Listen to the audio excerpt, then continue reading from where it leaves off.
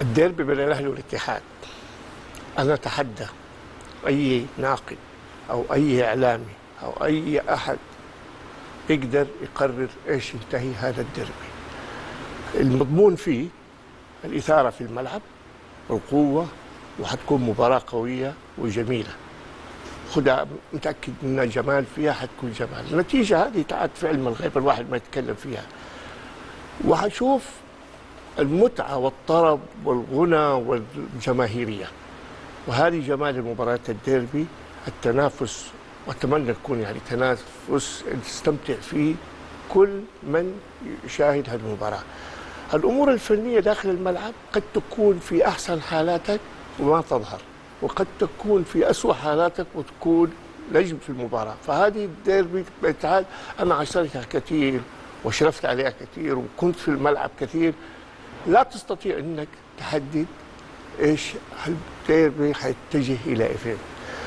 الاتحاد الأهلي يعني متعتها إن تحس الجماهيري الجمهور في الأهلي والجمهور في الاتحاد يتنافسوا على من يكون الأجمل في الملعب كما يتنافس اللعيبة في الملعب إذا جينا فنيا طبعا مشكلة المدربين طبعا في مدرب كبير نونو سانتوس وخبرة أكثر من مدرب الأهلي مدرب الأهلي مجتهد وحاول يغير الريتم ويلعب بأسلوب آه معتمد على الهجوم أكثر ما ما يأمن دفاعه. عنده مشكلة صحيح في العمق الدفاعي الأهلي في ربكة كثير بتصير في الدفاع في حراسة المرمى. يحتاج أن يكون متوازن في هذه المباراة.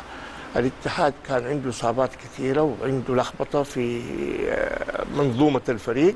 حتى اللعيبة اللي كانوا حيلعبوا بكرة إن شاء الله كلهم سالبين. ولكن الجاهزية تختلف من رتم المباريات انه يكون واحد بيلعب على طول يكون مستواه ويكون لكن اللي نازل في عملية إنه جاي من إصابة ولا شيء ما تتوقع يعطيك المجهود ويعطيك الفنيات اللي أنت متعود عليها كناقد رياضي أو كإعلامي.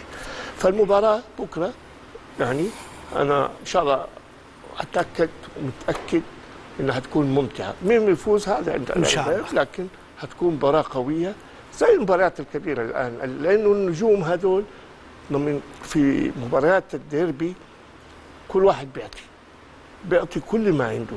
يعني تحس انت تشوف مباراة النصر مع الأهلي ولا مباراة الهلال مع الاتحاد ولا كل هذه المباريات استمتعنا فيها. كان رتمها عالي كانت هناك ممتعة وكنا نشوفها مباراة قصيرة في الوقت. أتمنى التوفيق للفريقين.